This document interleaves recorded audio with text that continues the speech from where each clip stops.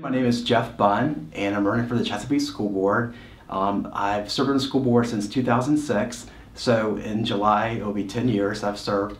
Um, I love serving the community that I grew up in. I attended Chesapeake Public Schools from first grade to 12th grade and graduated from Great Bridge High School back in 82 and just want to make a difference in our community. You know, the teachers that are in front of the classroom, they're the ones that have the biggest impact.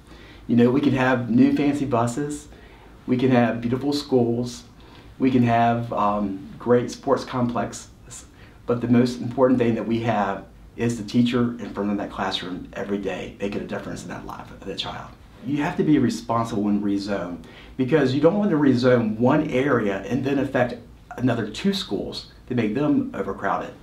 Um, we have a great system in Chesapeake. The superintendent and his staff each year um, evaluates the numbers and the attendance.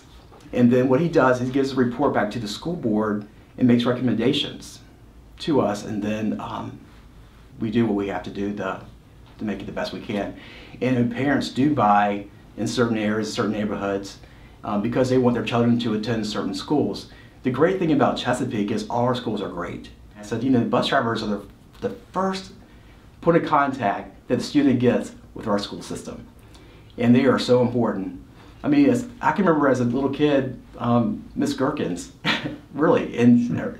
that was my bus driver. And depending on how her day was, a lot of times affected how my day was.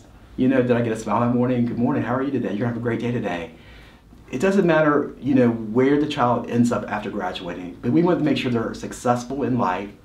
And if it's, you know, in the military, or if it's a trade school, or if it's a college, you know, we want to make sure we prepare that child to be the very best that they can be.